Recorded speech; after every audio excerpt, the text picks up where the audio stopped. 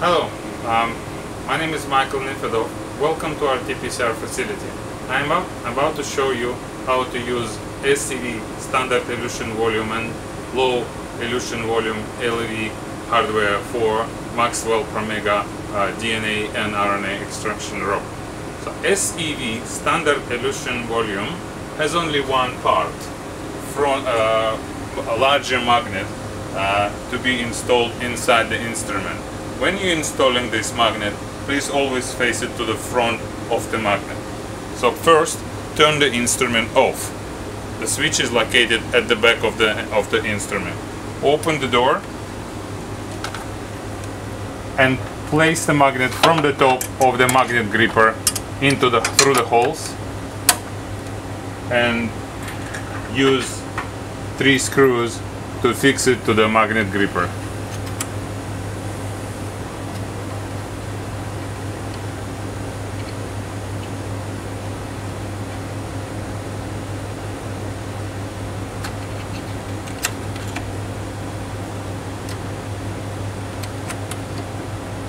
Tighten the screws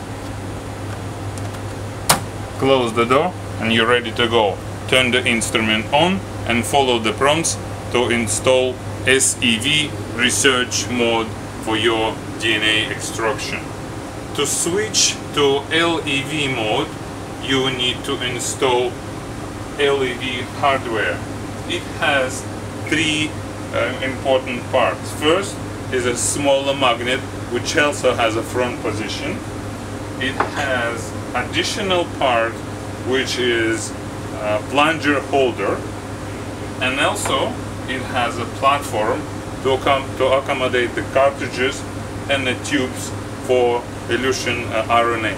The elution volumes for LEV are smaller and special elution tubes are used for low elution volume hardware compared to the larger blue tubes used for SEV standard elution volume. To in install the LEV hardware, first turn the instrument off, open the door, unscrew three screws which hold which hold the magnet to the magnet gripper and pull it up place it aside. Take the magnet gripper facing to the front and install it through the holes in the magnet gripper into the instrument.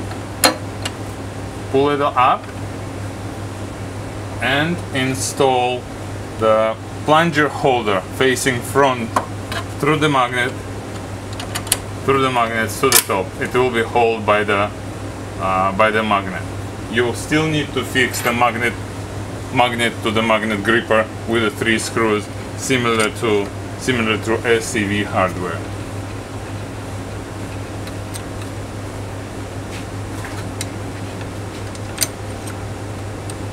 Tighten the screws, close the instrument, turn the instrument on and follow the prompts to install to install the LEV research mode. Thank you.